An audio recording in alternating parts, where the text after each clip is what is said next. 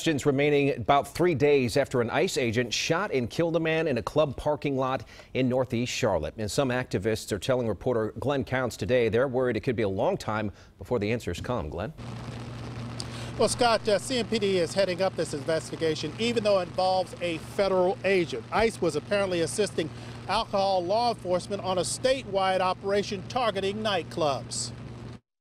Donald John Vieira was shot and killed by an ICE agent early Saturday morning. His friends are still trying to cope with that news. This man had so much going for himself, two kids, lovely uh, uh, girlfriend, you know, and he had something going for himself, just started his own business. Raekwon Carr grew up with John Vieira and they remained close friends. Police say a disturbance inside of Club Tropix led to violence outside. Some people who were in the club said there was some pushing and shoving over an entertainer.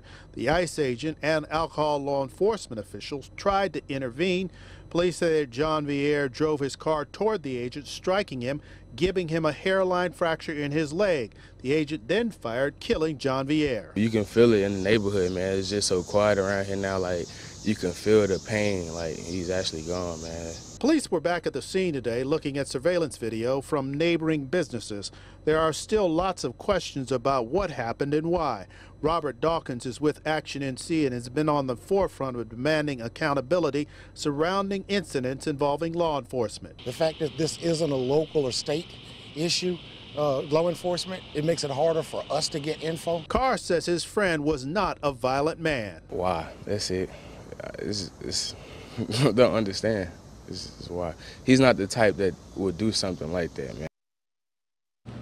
Well, police would not tell us if any of the video they looked at this afternoon is actually assisting them in their investigation.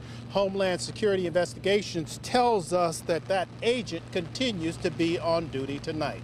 Reporting live from the Law Enforcement Center, Glenn Counts, Channel 9 Eyewitness News.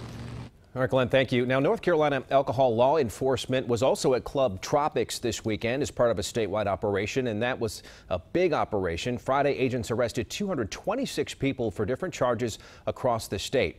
Locally, beyond that shooting Glenn told you about, the biggest bust involved apps and taps in Mooresville. ALE agents say they found workers using drugs and selling booze to people who were already drunk.